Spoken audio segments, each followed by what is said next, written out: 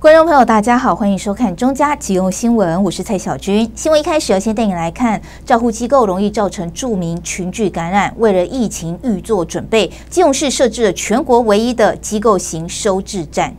那我们也是现场摆设饮水机，因为在准备老人家的一些饮水啦，或者是呃暂时服药等等的这种开水是很重要的。基隆市长林佑昌一早来到仁爱之家视察全国唯一机构型收治站。一个置物柜放老人家简单的一些东西，方便他们护理人员、照顾服务员他们的一些运作。来到房间，宽敞明亮空间，还有独立的卫浴设备，拉上布帘，单人房又可变成双人房。我们对于这个肠道机构啊，在这次疫情当中，我们建置了一个中继啊，还有缓冲的一个空间啊。那这个地方是我们原本的仁爱之家，之前已经废弃了啊。那为了这一次的一个疫情哈。呃，我们特别把它重新准备起来。那呃，目前长照机构或者照护机构，呃，中央的一个指引是呃就地的呃安置跟照顾哈，然后医疗的团队进去啊做医疗的一个诊治。呃，不过这个我们大部分哈全国各县市的照护机构或者是长照机构，都是四十九个人以下的小型的机构。呃，这个不容易在原本的一个空间里面啊去做这个分流分仓啊，或者是安置的一个呃这种处理，所以我们呃为了因应这种状况啊，呃特别在这个地方把空间跟场所把它准备起来，以备不时之需啊。那因为基隆跟双北是在全国疫情里面算走得最前面的，那所以我们会碰到的一些状况啊，这个其他的县市不会碰到。啊，所以我们也因地制宜呢，呃，就真正实际上能够去呃满足或者是完成整个防疫的一个工作，啊，来做相关的一个准备跟准备。全国疫情延烧，照顾机构很容易造成著名的群聚感染。基隆市政府利用已经裁撤的仁爱之家仁德楼整理之后，设置全国唯一机构型后送收治站。目前有二十个房间，四十个床位。这一次结合了市政府内部哈跨局处的一个合作，另外也结合了这个包括安心上工啊，还有包括劳政的，包括我们的保全等等，都已经建置完毕。那呃，我们把它分成是包括一个房间可以呃有两个住民，或者是一个房间如果有需要的单独一个住民来做使用。另外也有准备了呃，包括这个照护相关人员他们的一个宿舍。那这个对我们机构呃这个呃真的万一发生状况的时候，然后需要一个缓冲跟转介的话，这个地方可以提供非常充分的一个支持，也可以让我们的照护机构。呃的这些住民还有工作同仁，大家可以安心。而基隆长期照顾协会还帮忙铺床、整理房间，在最短时间内完成这项工作。是这个厂区的功能呢，在去年的市府以及基隆长照协会都已经有相关讨论过了。那么今年在整个厂区的部件来说的话，其实这个厂区市长最主要的目的是想要提供在整个基隆市如果有长照机构。遇到重大染疫或者是机构各功能已经完全瘫痪的状况之下，方便机构将干净的住民或者是工作人员移往这边进行生活照顾。那么重症的部分来说的话，会有我们基隆市的卫政单位跟社政单位协助进行在机构的照顾，或者是转送医疗院所。这个是三楼哈，那三楼有二十个房间，那每个房间可以放两个床位，所以它最大的容量可以到四十个床位。那这是第一阶段。那假设疫情更严重的话，我们会开设到另外一个楼层，同样的也是二十个房间，然后呃四十个床位。而这一波疫情中，养护机构感染风险高，对于市政府能够预做准备，也让不少长照机构业者相当安心。说基隆市这边来说，由我们社政、卫政、官方乃至于民间长照团体共同结合起来的三角资源的一个体系来说，是能够方便整个受灾机构在第一时间，不管是物资或者是医疗资源的调动，乃至于有这样的缓冲空间，以及其他协助人力的进驻。这个都是作为接下来我们在面对疫情可能没有办法完全绝对的不存在的情形，作为一个供参考的模式。所以在这边来说，我觉得其实整个疫情的应对过程来说，需要是民间与官方的共同协力，而不是只是官方自己一方面拼命的努力。啊，这边是一室一室两人嘛，这边可以一室一人嘛，然后后面甚至还可以有工作人员的住宿的空间，所以我们可以看机构的一个需求的状况，比如说今天是。呃，没有确诊的呃人，我们要移出来，好，我们就可以把它移到这边。如果万一真的呃这个机构需要降载的话，我们另外还有比如说。呃，这个我们呃里面的住民如果说有染疫，或者说里面的工作人员有染疫，我们可以把把它做一个区分。工作人员的话，我们还可以送那个加强型的防疫旅馆。那另外住民的部分，我们视状况，我们也可以全区，好，比如说这边都是呃这个确诊的住民，然后我们可以请医疗团队进来。那另外一种状况就是说，好，我们是把没有生病的、没有染疫的民呃这个住民把它移出来。所以这边是呃健康的没有染疫的住民，然后在这个地方做安置跟观察。基隆设置全国唯一的机构型收治站，市政府和第一线照护人员站在一起，希望齐心抗疫。记者黄少明基隆报道。另外，基隆长庚医院。另外，基隆长庚医院也领先全国，首创在各专科设置确诊者诊疗区。对此，基隆市长林佑昌非常肯定，也呼吁确诊者民众不要急着前往急诊区，让急诊资源能够运用在中重症及紧急伤病患者身上。就是我们的快筛阳性的确诊站，每个人来就是必须要先要持有快筛阳的那个工具，因为毕竟这个量呢还是很有限，我们一天大概是每一个诊室服务一百个人。在基隆长庚医院院长赖其俊等人陪同下，基隆市长林佑昌前往了解防疫门诊专区、快筛阳性筛检站及绿色筛检站动线与等候区的情况，并感谢第一线医护人员的辛劳。基隆长庚方面也说明因应新冠疫情的各项做法。第一个，我们把我们的 PCR 把它分成这个快筛阳性的裁剪。跟我们一般的一个民众就医的一个 PCR 裁剪，把它分流。那另外，金融长庚也开设了我们的视讯门诊。那不适合视讯门诊的病患，我们也希望你委托自己的家属来医院里面代为看诊领药。那一些有医疗需求的病人，如果你真的也没办法来，也没办法这个，那我们在我们的医院的门口外面，也有设为所谓的一个急门诊。就是你来做 PCR 裁剪的时候，我们顺便也可以给你看病、领药回去。那另外很多民众关心的有关于轻症的一个清冠一号跟我们的一个特殊药物的一个治疗，那我们医院的药剂部也拟了一些方案。那目前有非常多的病患来我们医院做清冠一号的一个治疗，那我们有特殊的抗病毒的药物也可以开立。那最后就是一些儿童跟孕妇的一个部分，在基隆长庚医院作为基隆区区重症。的一个治疗的医院，我们对这些病患也不会去去没有注意到他们的一个照顾。基隆市长刘昌除了肯定基隆长庚医院各项分流措施，也呼吁确诊民众不要急着到急诊区，让急诊资源能留给一般中重症与紧急伤病患者。呼吁呃所有的市民朋友，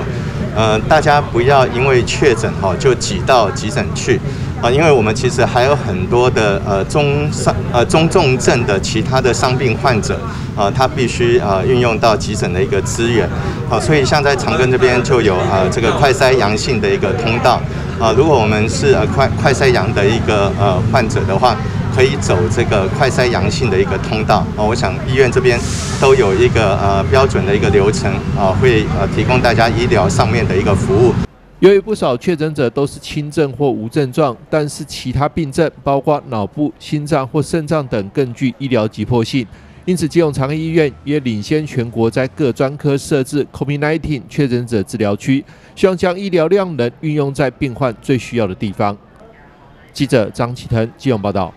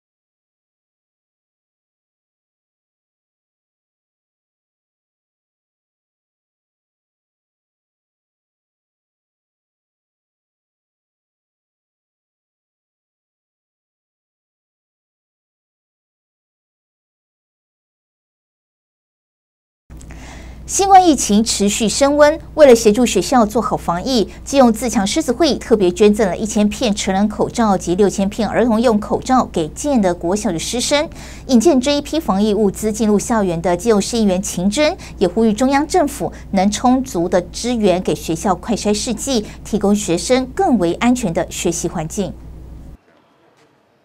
在基隆市议员秦真居中引荐下，基隆自强狮子会会长林世雄代表将一千片成人口罩及六千份儿童用口罩捐赠给基隆市建德国小，希望协助老师及学生做好个人防疫工作。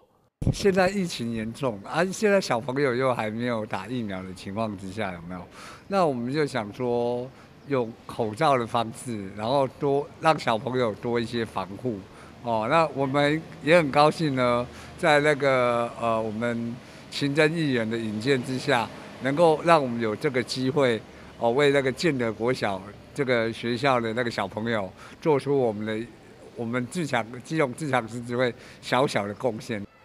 对此，有一千多位学生及一百位教职员的校方也相当感谢，强调口罩对全校师生做好个人防疫工作将有极大的帮助。我想在这个疫情非常严峻的一个情况之下，哈，口罩是永远不嫌多了，哈，让小朋友可以经常性的替换，这是非常正确的。所以非常感谢秦议员，还有呃自强国际狮子会呢，在这个疫情严峻的时候，又想到辛苦的老师，啊，还有可爱向学的小朋友，让我们有更充足的物资可以经常性的来替换。除了协助校方向民间团体争取防疫物资，秦真也呼吁政府单位应该支援学校快筛试剂。提供学童更完整、安全的学习环境。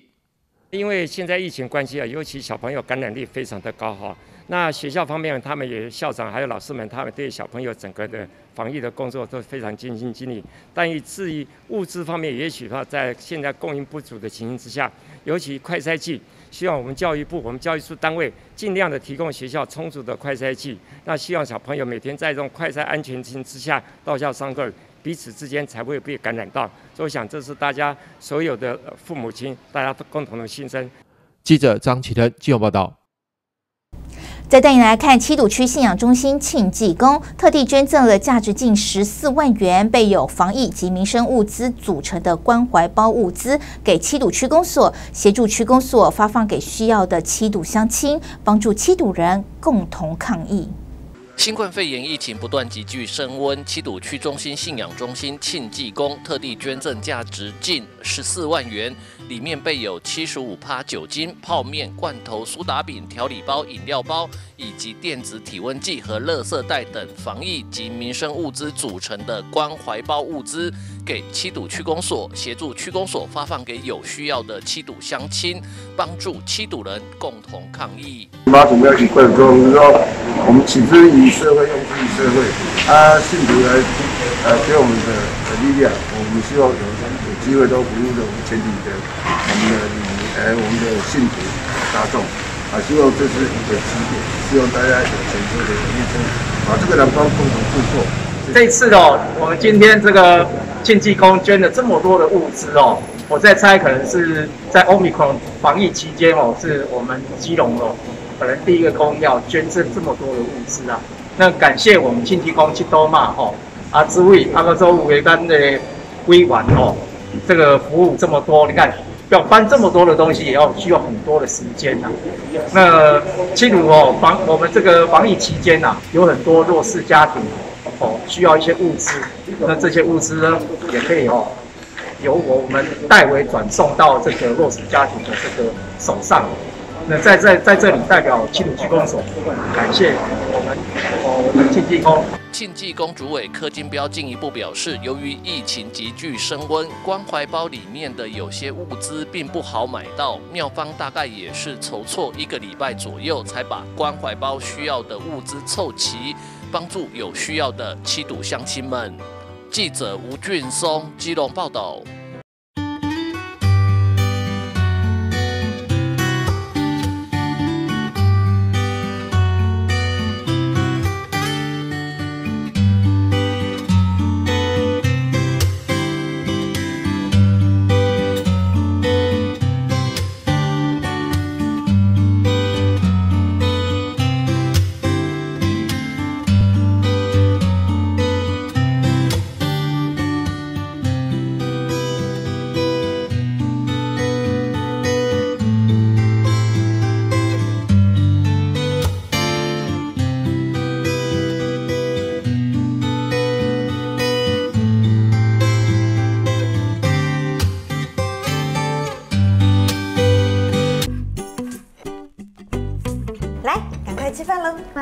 谢谢你每天都为我们做这么多。哦，嘴巴忽然这么甜，是不是想要什么啊？我今年初刚买房，但最近好忙，没时间缴房屋税，怎么办？这么简单的事有什么好烦恼的？现在缴税非常轻松，就算不出门也可以，只要下载行动支付或电子支付业者的 App，扫描税单 QR code 就能快速完成缴纳。还有这些管道都可以任意选择，管道便捷超有感，轻松缴纳好放心。基隆慈云寺整年度的重要庆典包括了元宵节义文活动、文昌君圣诞、观世音菩萨圣诞、浴佛节及祭孔大典等，无不吸引众多信众前来。慈云寺对于重要庆典、祭祀活动及社会服务，总是不遗余力的认真规划，也因此造就了今日历史悠久、信众众多、香火鼎盛的慈云寺。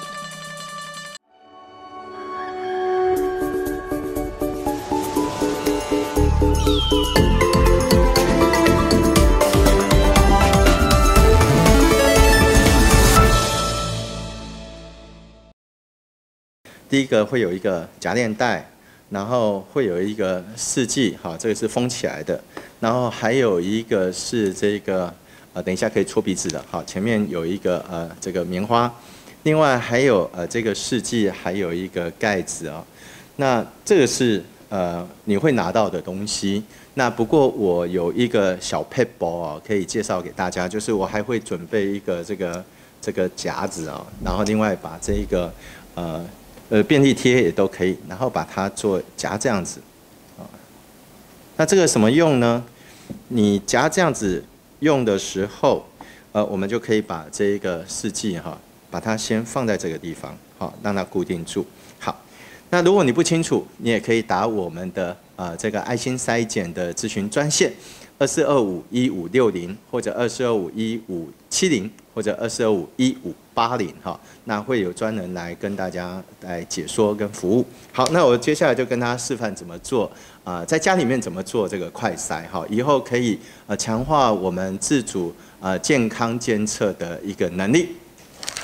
打开，然后这个是塑胶的棒子的尾巴，然后棉棉花在前面哈，要记得，拿起来都不要碰到它。然后呃两边的鼻子。你把它伸进去大概二点五公分，好，然后大概呃这个把它稍微呃这个动一下啊，好，然后就把这个呃里面有一体的这个啊试剂，然后把你的这个采样把它放进去，然后呢呃就把它搅啊这个搅一分钟。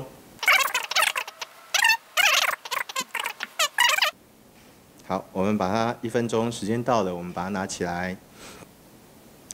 然后接下来，因为这个棉花棒会有沾到这个试剂嘛，哈。好，那我们接下来就要做这个筛检的动作，哈，就把这个已经弄好的这个试剂，把它放在这个圆圆的这个地方，好，椭圆形的地方。那我们要滴不要超过五滴，好，大概三滴到四滴就可以了。等这个试剂跑。十五分钟，好，这边有一个 C，有一个 T，好，那我们看到呃我的检验的结果是啊阴性，好，就是 C 这边表示已经做完了，好，那如果呃这个你是在 T 这边也有一条线，那这就表示快筛啊这个阳性，如果你是快筛阳性，那这个地方会有两条线。那你也不用紧张，那呃这个同时呢，你也把你的这个试片，把它放到这个夹链袋里面，好，放到夹链袋里面，然后把它封好，好，封好之后打我们的二十四小时啊快筛阳性通报的电话二四五六五八六一二四五六五八六一，那打了电话之后，我们的呃这个卫生局的同仁。就会安排防疫的这个机人车，然后你把这一个做好的这个试剂你要带着，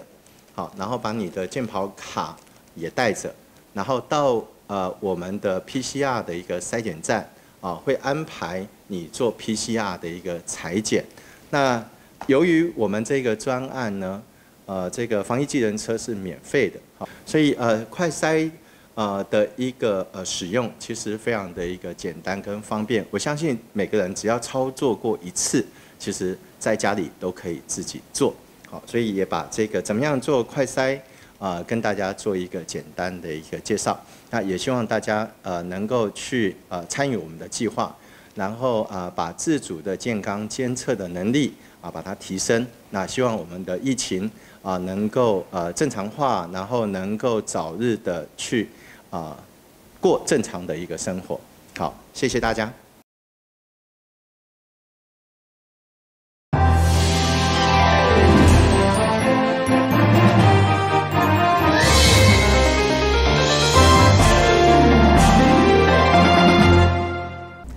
欢迎回到中嘉新闻现场，要带你来看，基隆有一名四十六岁的李姓男子，五月十四号因案通缉被逮捕归案。五月十六号上午，家人要缴交保释金时，才被告知男子身体不适，已经送医，但没有想到下午四点就宣告不治。家属很不满，表示男子有慢性病，送药却被所方拒绝，无法接受，才进去两天人就走了，质疑所方有重大的瑕疵。对此，看守所回应会配合检方来调查。他好好的好好的人进去才一天半，现在出来是一具冰冷的遗体。哎呀，那那都都说跟你们一点关系都没有。那试问是跟我们家属有关系吗？家属向媒体投诉，患有慢性病的哥哥进了看守所，短短两天竟然没了命，质疑看守所人员有重大疏失。本来就是需要长期有人看看护照料的人啊。哎呀，你们所方遇到这种。遇到这种受刑人，你是不可以收治的啊！你怎么会还会随随便便把人收进去嘞？对不对？而且没有做那个安全的评估啊！哎呀，那也不接受我们家属去投药啊！基隆一名四十六岁的李姓男子，去年因为窃盗案未执行被通缉，上周六五月十四日被基隆警方逮捕归案。由于周末无法交保，家属送药却被所方拒绝，原因是里面有医护。家属十六号办理交保时，却被告知已经送医。医院中午发出命为，下午四点多就宣告不治。阮内底吼，医生啦，啊，阮药也诚济啊，啊你吼放心，放心啦。诶，啊，迄落阮内底袂用去收恁的物件咧，啊，我甲强调主讲，啊，人若种人安怎，我是要找你哦，你要负责哦。就讲免烦恼啦，阮内底医生。针对家属质疑，金融看守所做出了回应。有关本所前收容人李姓男子，哈，在五月十四号下午两点，因窃盗案，哈，被警方，哈，逮捕查缉，送入本所执行有期徒刑三个月。然后在五月十六号早上，哦，八点半左右，哦，李姓男子，哈，身体不适，经本所紧急送医院诊治。在这段时间，哦，家属也到地检署缴了罚金。那我本所依照好地检所开的释票好释放，交给家人，但不幸的是，哦，该李然于哦四六时左右哦诊治不治哦，呃，那有关死因的疑虑的部分，家属也透过警方，哦，那本所已配合好警方调查死因。看守所表示，一切依照规定办理，也会配合司法调查。立委蔡世应要求矫正署及基隆看守所的调查报告要在三周内完成。全案已经进入了司法，希望还给家属一个公道。记者黄少明基隆报道。以上就是今天的中加新闻，也欢迎您到中加新闻的脸书及 YouTube 按赞，就能及时获得最新的在地新闻。另外，我们也与 FN 轻松电台九六点九联合直播，欢迎准时收听。非常感谢您的收看，我是蔡小军，祝您一切平安，我们再会。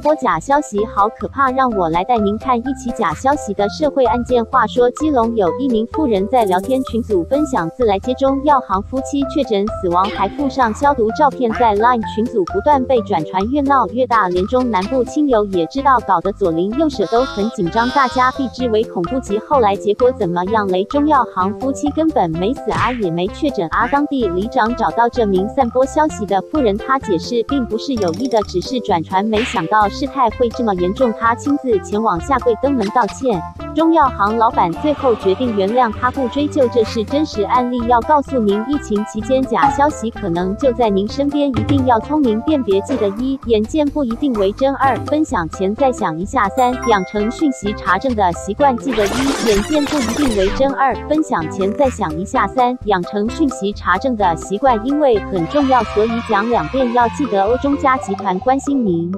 随着疫情升温，假消息满天飞，到底哪个才是正确的？利用以下三个超实用 APP，简单操作，快速查证。赖讯息查证，加入赖好友，提供希望查证之讯息内容即可查证。另外还提供最新查核讯息供民众了解。台湾事实查核中心，赖搜寻台湾事实查核中心，加入好友，将收到的讯息整篇贴上，即可查询是否为假消息。My GoPen。同样加入赖好友，当您收到不明消息，直接转贴到买勾片查证时，可点选绿色按钮前往查证结果，也可点选橘色按钮，直接将查核结果转达给亲朋好友哦。记得收到疫情传言时，不转发，多查证。散播假讯息不仅会罚钱，还可能触犯刑责，也会造成不必要的恐慌。让我们一起对抗病毒，正向防疫。